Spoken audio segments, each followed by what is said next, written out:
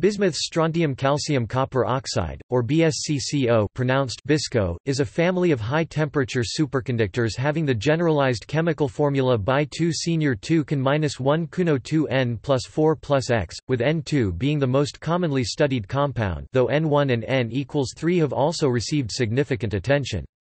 Discovered as a general class in 1988, BSCCO was the first high-temperature superconductor which did not contain a rare earth element. It is a cuprate superconductor, an important category of high-temperature superconductors sharing a two-dimensional layered perovskite structure see figure at right with superconductivity taking place in a copper oxide plane. BSCCO and YBCO are the most studied cuprate superconductors. Specific types of BSCCO are usually referred to using the sequence of the numbers of the metallic ions. Thus Bi2201 is the N1 compound Bi2 senior 2 plus X, Bi2212 is the N2 compound Bi2 senior 2 CaCu208 plus X, and Bi2223 is the N equals 3 compound Bi2 senior 2 Ca2 plus X. The BSCCO family is analogous to a thallium family of high-temperature superconductors referred to as TBCCO and having the general formula Tl2 Ba2 can 1 Cuno 2 N plus 4 plus X, and a mercury family HBCCO of formula HgBa2 can 1 Cuno 2 N plus 2 plus X. There are a number of other variants of these superconducting families.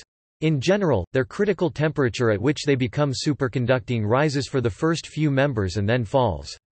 Thus Bi2201 has Tc approximately equals 33 K, Bi2212 has Tc approximately equals 96 K, Bi2223 has Tc approximately equals 108 K, and Bi2234 has Tc approximately equals 104 K. This last member is very difficult to synthesize.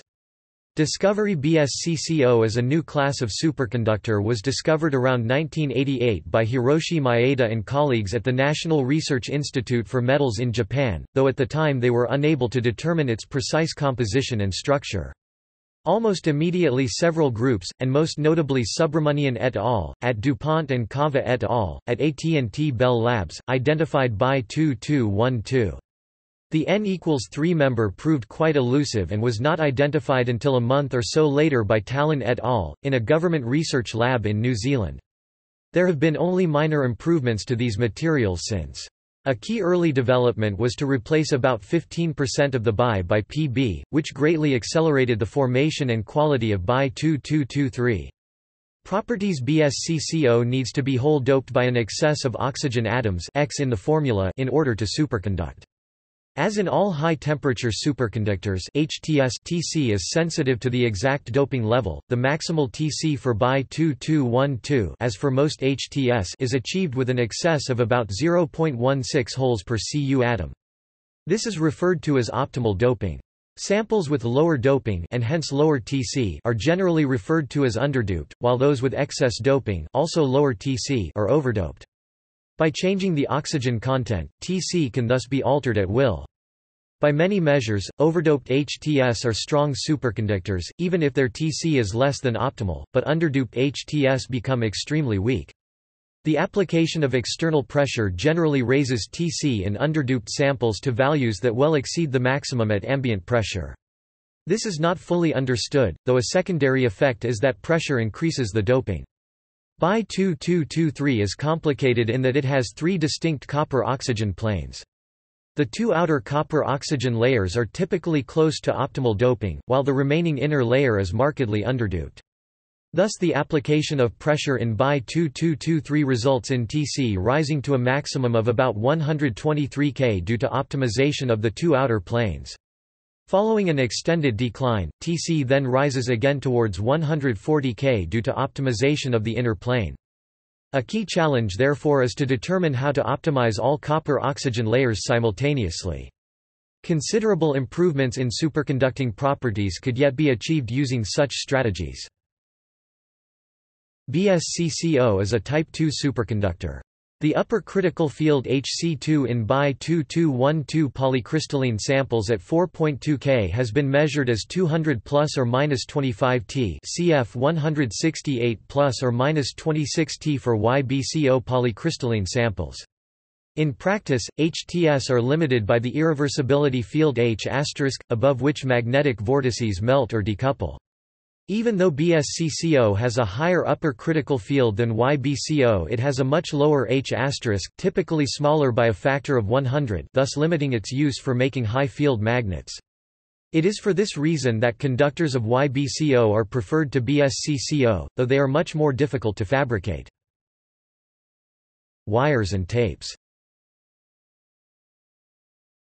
BSCCO was the first HTS material to be used for making practical superconducting wires. All HTS have an extremely short coherence length, of the order of 1.6 nanometers. This means that the grains in a polycrystalline wire must be in extremely good contact, they must be atomically smooth. Further, because the superconductivity resides substantially only in the copper-oxygen planes, the grains must be crystallographically aligned. BSCCO is therefore a good candidate because its grains can be aligned either by melt processing or by mechanical deformation. The double bismuth oxide layer is only weakly bonded by van der Waals forces. So like graphite or mica, deformation causes slip on these bio-planes, and grains tend to deform into aligned plates. Further, because BSCCO has n equals 1, 2 and 3 members, these naturally tend to accommodate low-angle grain boundaries, so that indeed they remain atomically smooth. Thus first-generation HTS wires referred to as 1G have been manufactured for many years now by companies such as American Superconductor Corporation AMSC in the USA and Sumitomo in Japan, though AMSC has now abandoned BSCCO wire in favor of 2G wire based on YBCO. Typically, precursor powders are packed into a silver tube, which is then extruded down in diameter. These are then repacked as multiple tubes in a silver tube and again extruded down in diameter, then drawn down further in size and rolled into a flat tape. The last step ensures grain alignment. The tapes are then reacted at high temperature to form dense, crystallographically aligned Bi-2223 multifilamentary conducting tapes suitable for winding cables or coils for transformers, magnets, motors and generators. Typical tapes of 4 mm width and 0.2 mm thickness support a current of 200 A at 77 K, giving a critical current density in the Bi-2223 filaments of 5 times 105 A per square centimeter. This rises markedly with decreasing temperature so that many applications are implemented at 30 to 35 K, even though TC is 108 K.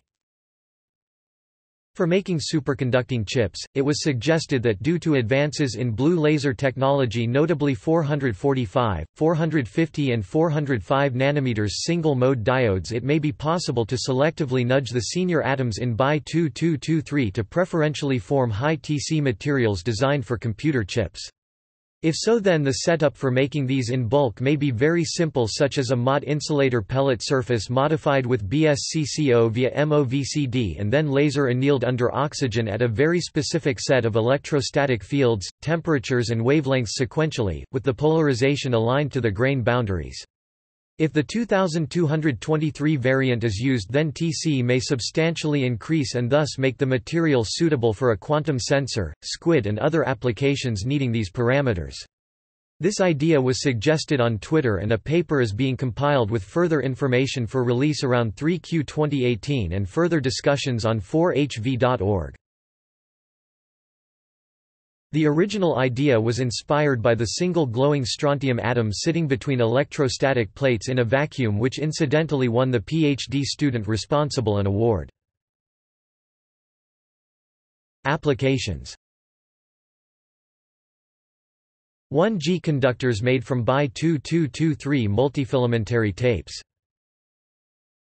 Testing BSCCO tapes at CERN References External links.